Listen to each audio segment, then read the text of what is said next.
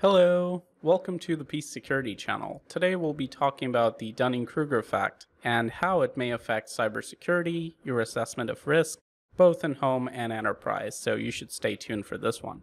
So for those of you that are not aware, the Dunning-Kruger effect is basically a cognitive bias that was mainly observed in 2000, for which both Kruger and Dunning received the Nobel Prize.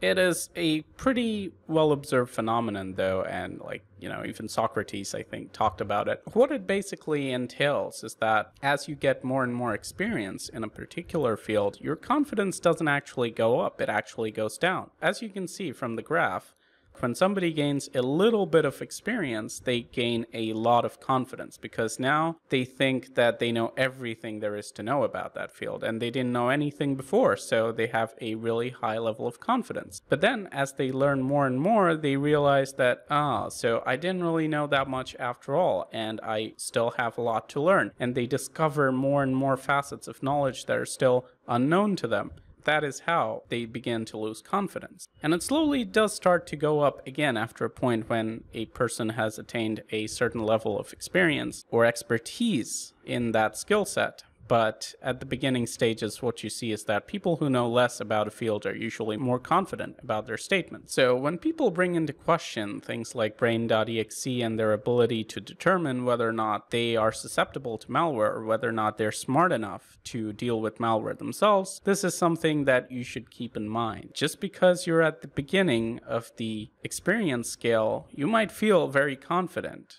and you might think that, hey, I know everything there is to know about malware. I'm not going to get infected, right? But as you learn more, you might find that things are not as simple as they sometimes seem. And the same thing happens when it comes to business risk assessment. So if you cannot imagine the potential consequences of a hack when something goes wrong, you really won't do much to prevent it. And at the same time, you'll feel a lot more secure. However, if you're smart and you know the vulnerabilities that exist within your system, you will feel a lot less secure, although you will be more secure. So it's kind of like a counterintuitive correlation. The more secure people feel, generally, the less secure they are, and vice versa.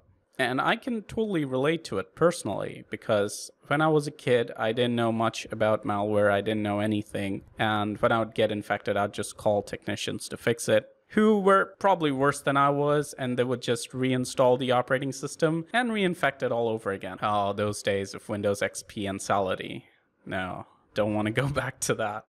But anyway, the point is, when I was young and I didn't know much about malware, the first time I actually removed a virus using an antivirus. I actually felt really powerful and I felt like, oh, like as long as I have an antivirus product that is up to date, I can beat any kind of malware.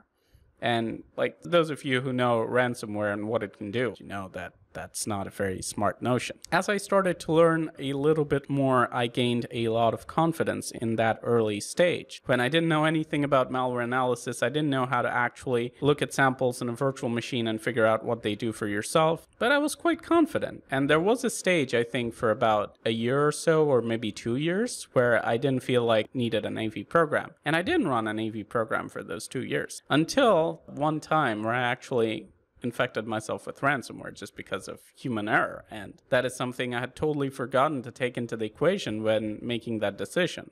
And at this stage, the more I learn about malware analysis and how malware works, there is this huge um, iceberg that's underneath. And it's really difficult, honestly, to determine whether or not you are going to be able to deal with malware on your own. It's just an impossible decision to make. At least for me personally, I could think of a thousand ways in which malware could infect my system potentially. But before I couldn't see that. And as a result, I felt more secure.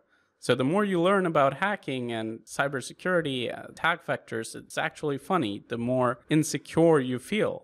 So next time you have somebody tell you that, hey, you know, you, you may not need security because, well, you know how to reinstall Windows and load up Hitman Pro, so you're good maybe that's just the Dunning-Kruger effect. So I hope you learned something from this video. I hope you enjoyed it. It was something that was suggested to me a long time back by one of my friends who's also a malware analyst, Karsten. Like and share if you enjoy this kind of content. This is Leo from the PC Security channel. Thank you for watching, and as always, stay informed, stay secure.